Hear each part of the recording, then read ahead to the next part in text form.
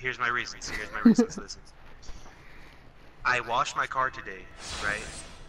My fucking neighbor, like on the bottom of his driveway, there's like dirt, right, and just about all down the block. He pulled out like one of those reverse vacuums or a blower, and a Reverse vacuum. That was my You piece of scientific shit. way of-